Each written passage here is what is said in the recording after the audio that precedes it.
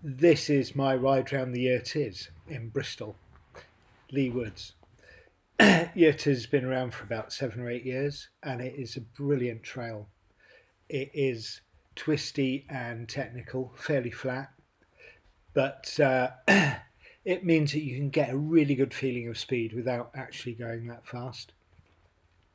Um, this is on Strava, the start of Leigh Woods Blue, which is quite a contested little stretch of about between 30 and 40 seconds for most people.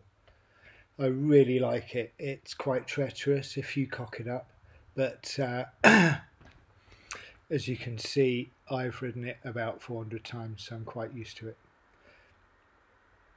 Just coming to the end of this section now. There's these logs so that you don't cross the main path too quickly. So they do. They tend to do that just so that you uh, can cross all the main thoroughfares with a bit of caution. This is uh, Leigh 2 or Leigh Woods second section. And again, it's quite flat and uh, maybe slightly downhill. The corners are a little bit bermed, so you can hit them quite hard. I love this section. It's quite swoopy. You need to be on the gears and the brakes quite a bit just to get it to flow. There's a nice bit here, just a little S-shaped climb and into the next section. Most of the corners are uh, slightly bermed so you can hit them quite hard. But um, these trails are really um, are really prone to uh, conditions. When it's slightly damp they're really greasy and uh, quite treacherous but uh, just at the moment, when it's been raining in the last few days, but it's dried out, it's not too powdery, and uh, you can really uh, you can really get predictable grip out of all the corners. Some really nice berm sections now. It's been really well built this trail and it's lasted a long time. They uh, do a bit of maintenance on it, but uh, in general, it holds out quite well. People are always trying to um, create shortcuts, but the trail police tend to go around and put logs across them. So the trail's really kept its identity over the years. This is a really good section. You can hit the apexes quite uh, quite tightly, and uh, you get a great feeling of speed going through it. All fairly flat, slightly downhill. About to uh, come to the end of this section, and then we're into uh, into the trees. I tend to ride with the suspension um, quite dialed down so that you've got some you've got some bounce, but um, generally the bike tracks quite track, tracks quite smoothly. Here we go. One, two, three, four. And then there's a berm at the end. Then left turn coming up and quite tight through here.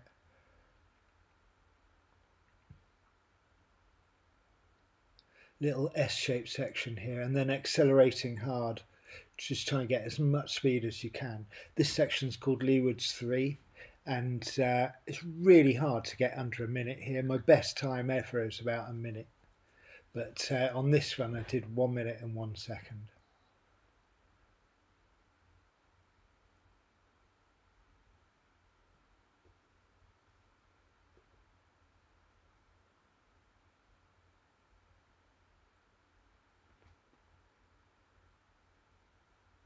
Here we come, little downhill corkscrew and then up again. Right left hander downhill again quite quite hard here and then uphill and just coming up to the end of this section on Strava Woods 3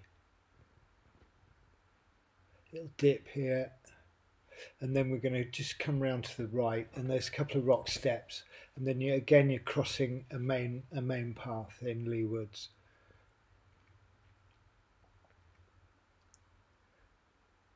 This is Leigh Woods 4. I really like it. It's technical at the beginning. There's some quite flat, flat bends you have to be uh, quite cautious of. Come off a few times here because uh, they're gravelly and they're quite um, they're quite pitted from people braking. And uh, if you don't treat them with a bit of respect, you can end up with gravel rash.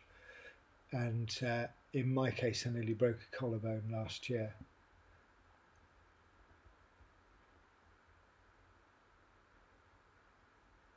Around here, particularly untrustworthy corner coming up.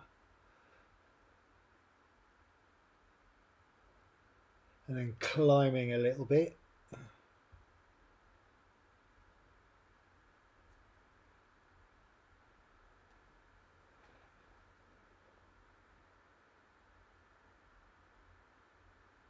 Climb, climb, climb.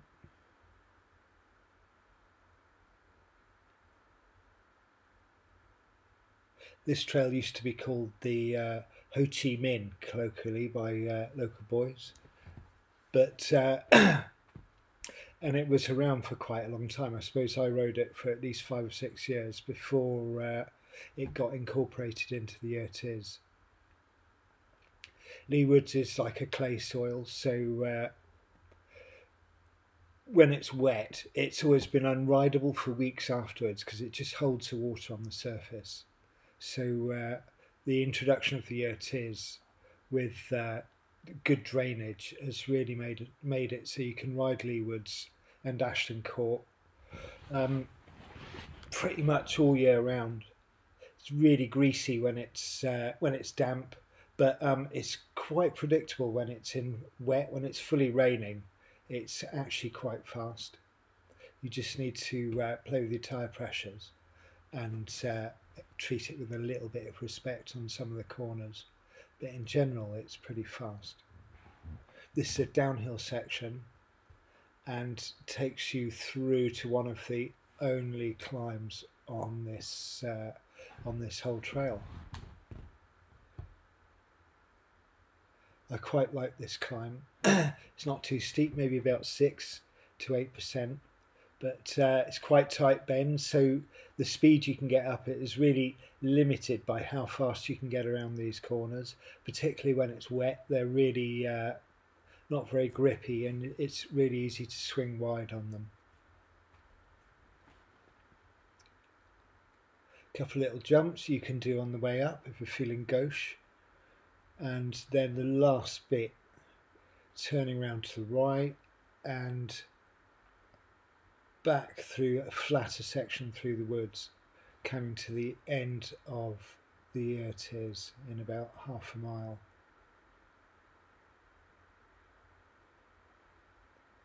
You can lose a lot of time here if you really go for that hill then you find you're just too tired to uh, to push on here but uh, I think I balanced it out quite well today. I did 8.32 for the whole ride, for the Yer Tiz part anyway. The Yer Tiz ends as you come to this car park. And then um, on Strava at least, it becomes uh, the last section is uh, the completion of Leigh Woods lap.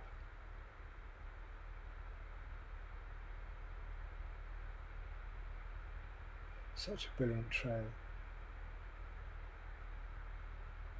Very few towns have got urban trails like this, so close to uh, the centre of the city. I haven't seen many today, but you see a lot of people riding around with their kids, which uh, is a bit like Croyd but for mountain bikers. You know, you can imagine uh, generations of uh, mountain bikers coming out of Bristol just because of the proximity of this trail. This is Leigh Woods 6, this section. Again, the corners are quite flat, so and when they're dusty, they can be really treacherous, but you just have to sort of lean off and treat them with a bit of respect. Run squirrel.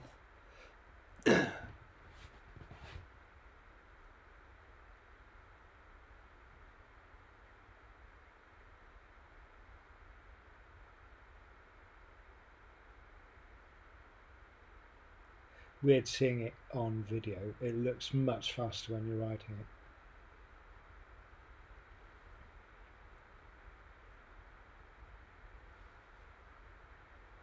that last lump and then what I generally do is drop a couple of cogs and you can push hard uphill on this section. It's a nice uh, sweepy bit at the top and then you're crossing the uh, crossing one of the main tracks again. This is really nicely bummed up.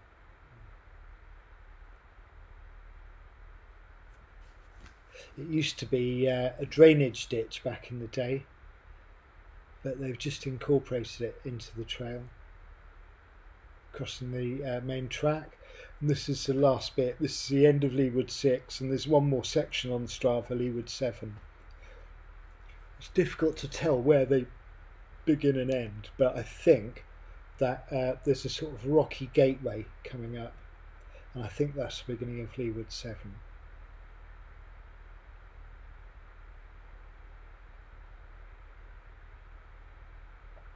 you can sort as you ride round you can look for that it's sort of dusty there you go start of Leigh Woods 7 but you can see the little shiny shiny stones in the centre of the track and if you stick on those it tends to be quite grippy you've got the right tyre pressures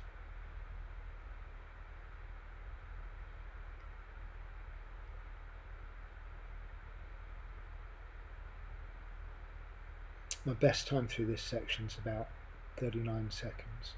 Oh no, 34, 34 seconds.